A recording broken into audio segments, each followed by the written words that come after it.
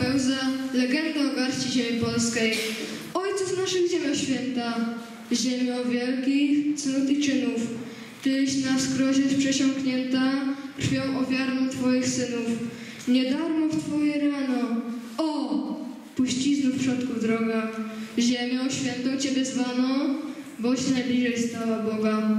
Byłaś ziemią poświęcenia, przytuliskiem licznej kości, dziwny Ciebie opromienia, czar męczeństwa i świętości, niegdyś ze stron tych piątnicy, z wiarą w sercu niewymowną.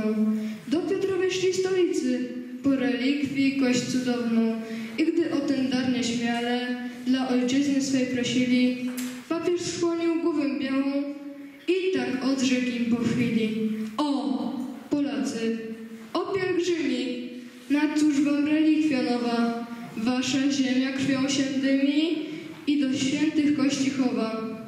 Wszakże jeszcze do tej pory w bitwach z Turki i Tatary męczenników waszych wzory są świadectwem waszej wiary. I wziął w rękę swą sędziwą grudkę ziemi, garstkę ziemi, grudkę małą i na dłoń mu się, o dziwo, kilka kropli krwi polało.